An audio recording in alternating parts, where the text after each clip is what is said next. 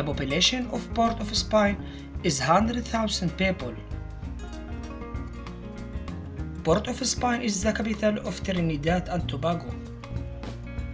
The population of Trinidad and Tobago is 2 million.